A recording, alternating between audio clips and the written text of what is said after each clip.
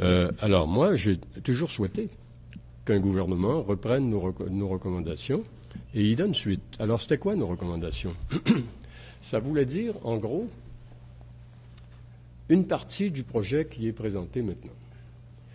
Euh, par exemple, dans un document officiel sur euh, la laïcité, qu'on définisse les grands principes dont on déduit les orientations, les procédures, les critères dont doivent se servir les gestionnaires dans la vie quotidienne. Euh, donc une charte qui affirme et qui clarifie les grands principes de ce que c'est que le régime de laïcité en fonction duquel on veut vivre collectivement au Québec.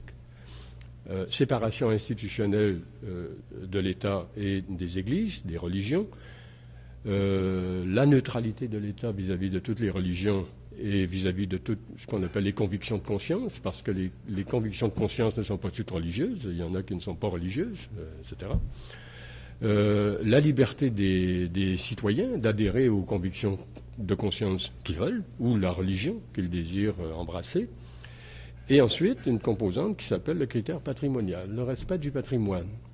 le respect du droit des autres n'entraîne pas qu'on efface l'histoire de la société où on vit avec les symboles, euh, la mémoire dont on a besoin, dont on remplit notre imaginaire. Euh, ça ne doit pas être détruit, ça doit être préservé. Mais préservé dans les limites des autres droits, euh, en fonction d'un équilibre qu'il faut sans cesse renégocier. Ça n'a pas été fait. Et il y a une partie du document, du projet qui vient d'être soumis, qui va dans ce sens-là et qui est tout à fait le bienvenu. L'autre partie, c'est celle qui concerne les signes religieux, et c'est celle dont nous venons de parler, et à mon avis, le gouvernement devrait sacrifier cette partie-là et se concentrer sur l'autre. Et se concentrer également sur les accommodements, non pas parce que les accommodements marchent tout de travers, non pas parce qu'ils n'ont pas de balises, mais pour dissiper les mauvaises perceptions dans la population, pour montrer que euh, le rejet euh, des accommodements n'est pas fondé. Ou alors c'est une perception qui sont nourries par de mauvaises raisons, par des, par des, par des perceptions qui n'existent pas. Et ça, ce serait bien qu'un gouvernement rappelle ça. Par exemple, moi, j'ai, euh, durant la dernière année, j'ai dû donner 30 euh, ou 35 conférences euh, sur le thème de l'interculturalisme, qui était celui de mon dernier livre. J'étais invité dans des universités, des cégeps, de tous les milieux que vous pouvez imaginer. Et partout où j'allais, à la fin de ma conférence, je demandais, et il y a des gens parmi vous qui s'occupent des demandes d'accommodement. Hein, vous êtes une, institution où il y a des demandes d'accommodement. Oui. Alors, est-ce qu'il y a des demandes d'accommodement au cours des deux ou trois dernières années chez vous qui sont allées contre l'égalité homme-femme? J'ai jamais eu un seul exemple. Je ne dis pas, euh, je demandais pas dix exemples, j'en demandais un. Je n'en ai jamais eu. J'en ai jamais eu nulle part. Et ce qu'on me disait, c'était, mais, mais M. Bouchard, vous êtes au Québec, là. Pensez qu'on pourrait accorder une demande qui irait directement à l'encontre de l'égalité homme-femme, qui inférioriserait la femme par rapport à l'homme? Pensez qu'on pourrait faire ça au Québec? Hein? Ils sont bien conscients que c'est une valeur sacrée. On ne touche pas à ça. Alors moi, je trouve ça euh, inacceptable. Euh, qu'on euh, rende vil les accommodements pour des raisons euh, qui ne sont pas fondées. Alors que les accommodements, ça c'est une autre affaire. On dit souvent que les accommodements, c'est un privilège. C'est le contraire. Un accommodement, on accorde ça quand une personne est capable de prouver qu'elle est victime d'une discrimination. C'est-à-dire qu'un droit qui est reconnu à tous par la charte, cette personne-là en est privée. Donc il y a une correction qu'il faut faire. C'est ça une demande d'accommodement. Et encore, la correction se fait seulement si, alors là c'est toutes les autres conditions, si ça ne coûte pas trop cher, si ça ne bouleverse pas le fonctionnement de l'institution, si ça ne porte pas atteinte aux droits d'autrui, si ça va dans le sens de l'intégration, etc., etc. C'est, n'est pas pour rien que ça s'appelle raisonnable. Les juges qui ont mis ça au point dans les années 80 n'étaient pas stupides. Alors, ça a commencé avec les handicapés. Un handicapé visuel qui a besoin d'un chien Mira. On s'est aperçu que quand il prenait l'autobus, il ne pouvait pas amener son chien. Parce que dans les municipalités, il y a des règlements qui ont du bon sens. Euh, on ne peut pas amener son veau euh, hein, dans l'autobus, c'est parfaitement raisonnable. On avait oublié que dans la société, il y avait des gens qui étaient handicapés visuels. On n'y avait pas pensé. Donc c'était une mauvaise loi, c'était un mauvais règlement. que les, gestionnaires se sont empressés d'amender pour permettre à des handicapés visuels de prendre l'autobus avec leurs chiens. Euh, l'équivalent, c'est les, handicapés en fauteuil roulant. On s'est aperçu à un moment donné que ces gens-là ne pouvaient pas aller euh, au bureau euh, du gouvernement pour obtenir des services, ne pouvaient pas aller dans les magasins pour s'approvisionner. Alors, on n'y avait pas pensé. On n'avait pas pensé que ces gens-là étaient en fauteuil roulant. Donc, on a obligé, on a passé une autre loi pour obliger les édifices publics et commerciaux à installer des rampes pour que ces gens-là puissent jouir du même droit que tous les citoyens. Ce pas un privilège qui leur était fait.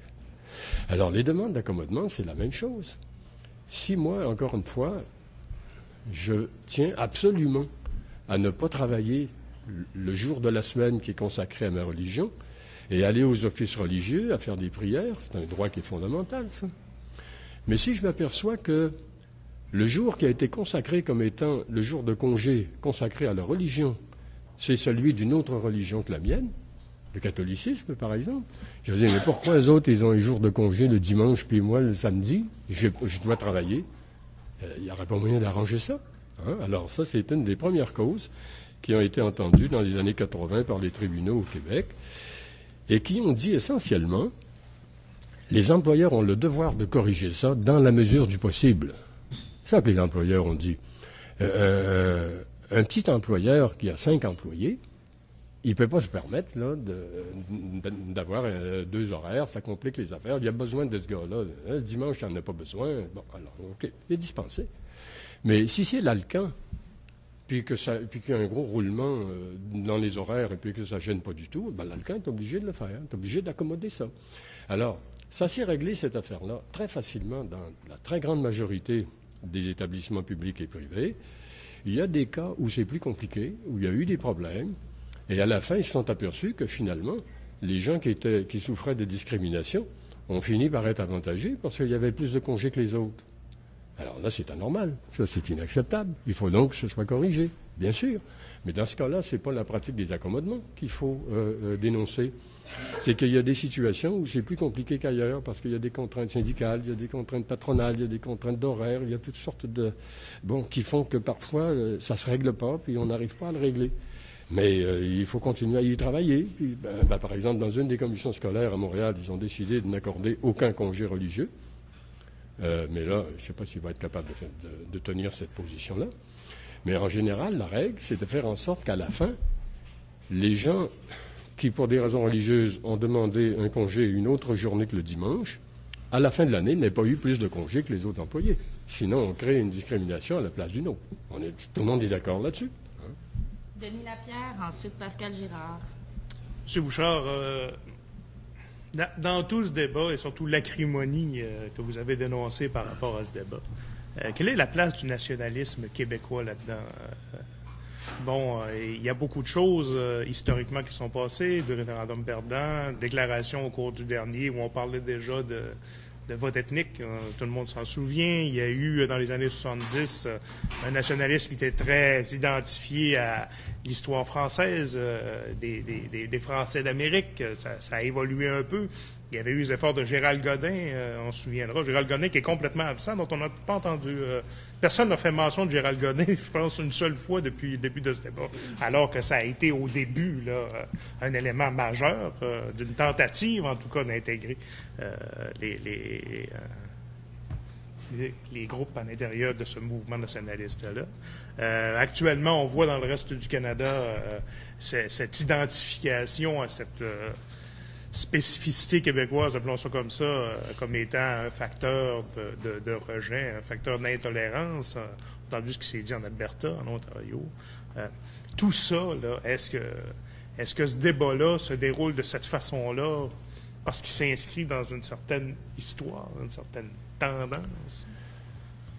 Je ne peux pas répondre à la totalité de votre question parce qu'elle comporte plusieurs dimensions euh, assez complexes, mais euh, euh, d'abord, au sujet de M. Euh, de, Gérald Gaudin, ce n'est pas surprenant que le PQ n'en parle pas aujourd'hui, parce qu'on se doute bien de la position qu'il prendrait aujourd'hui. Hein. C'est lui qui a marqué le premier, la grande ouverture des francophones vers les minorités et vers les immigrants, avec l'appui de l'ensemble du parti à l'époque. hein. Alors c'est pour ça qu'on s'y réfère pas trop aujourd'hui. Euh, moi,